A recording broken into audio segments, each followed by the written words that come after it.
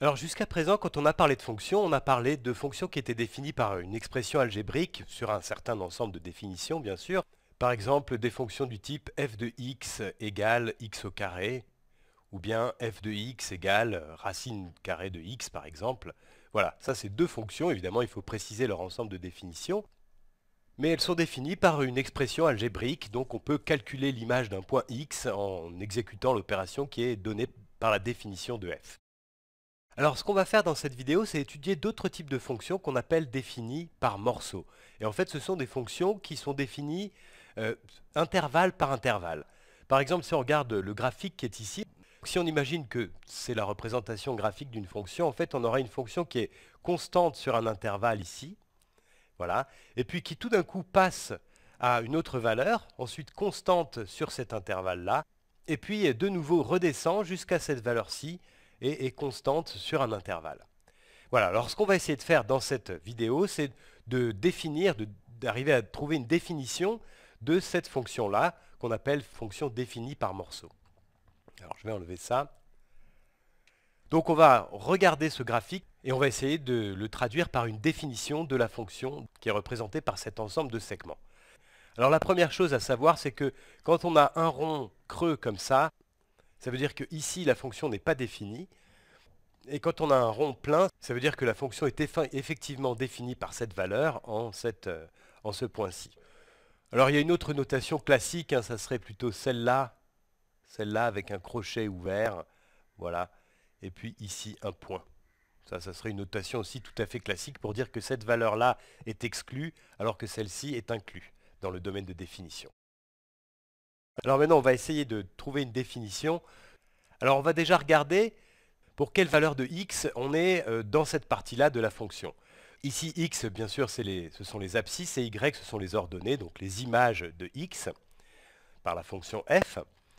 Et donc ici, si x est strictement supérieur à moins 9 et x inférieur ou égal à moins 5, je vais l'écrire ici, si x est strictement supérieur à moins 9 est inférieur ou égal à moins 5, on est dans ce cas-ci. On est en fait, c'est cet intervalle-là, hein, ici, avec la valeur moins 5 qui est, qui inclus et la valeur 9 qui est exclue.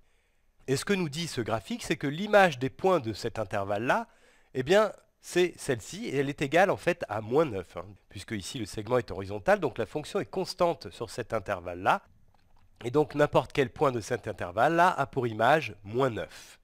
Donc on va écrire ça comme ça. En fait, la fonction f de x, on va dire qu'elle est égale à, alors je fais une accolade comme ça, à moins 9 pour les valeurs de x comprises entre moins 9 exclu et 5 inclus.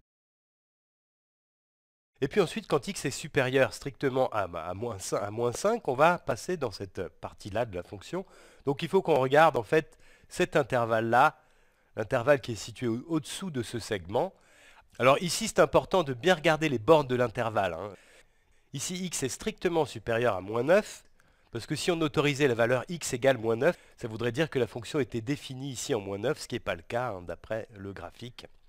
Donc euh, voilà, il faut faire attention aux bornes de l'intervalle. Alors maintenant, passons à ce deuxième intervalle, qui est en fait l'intervalle image des valeurs de x comprises entre moins 5 et moins 1 moins 5 et moins 1. Alors je vais passer à cet intervalle-là. On va regarder les valeurs de x comprises entre moins 5 et moins 1. Pour l'instant, je l'écris comme ça. Alors j'ai écrit x strictement supérieur à moins 5, et effectivement c'est le cas, puisque ici l'image de moins 5 est exclue dans ce cas-là. Donc c'est vraiment une inégalité stricte ici. Et donc dans ce cas-là, la fonction elle a pour valeur 6. Hein. Donc je vais écrire ça comme ça f de x est égal à 6 pour x strictement supérieur à moins 5 et inférieur ou égal à moins 1. Alors ici, il faut vraiment faire attention aux bornes de nos intervalles, hein, puisque ici on a x qui doit être inférieur ou égal à moins 5, ce qui veut dire que l'image de moins 5, on la prend ici, sur cette valeur-là, sur cet intervalle-là. Et ici, on a pris x strictement supérieur à moins 5, puisque ici, on a une valeur, la valeur 5, moins 5, pardon, qui est exclue. Hein. Alors c'est très important parce que si on, prenait ici la valeur moins 5, eh bien en fait on aurait une, fonction qui pour la valeur moins 5 a deux images possibles, la valeur 6 ou la valeur moins 9. Et donc ça, en fait, ça n'est pas une fonction. Donc effectivement, il faut faire très attention à ce que nos intervalles ne se recouvrent pas, hein, ce qui n'est pas d'intersection de ces intervalles-là. Donc il faut faire vraiment très attention aux bornes de l'intervalle. Alors maintenant, on va passer au dernier segment. Quand x est strictement supérieur à moins 1, strictement supérieur à moins 1 et inférieur ou égal à 9, je vais l'écrire ici, x strictement supérieur à moins 1 et inférieur ou égal à 9, eh bien on est dans cette partie-là, hein, ça c'est cet intervalle de valeur ici, et dont l'image sera ce segment-ci, ce qui veut dire que la fonction pour les valeurs de x comprises dans cet intervalle, moins 1 exclu, 9 inclus, eh bien la fonction est constante ici, et sa valeur c'est moins 7. Donc la fonction f, elle est égale à moins 7 pour x compris entre moins 1 exclu et 9 inclus. Et là aussi, il faut faire attention à ce que les bornes de cet intervalle-là et de cet intervalle-là ne se recouvrent pas. Voilà, là on a complètement déterminé notre fonction f, et c'est ce qu'on appelle une fonction définie par morceau, puisqu'elle est définie sur plusieurs intervalles. Et sur chacun de ces intervalles, elle a une définition particulière.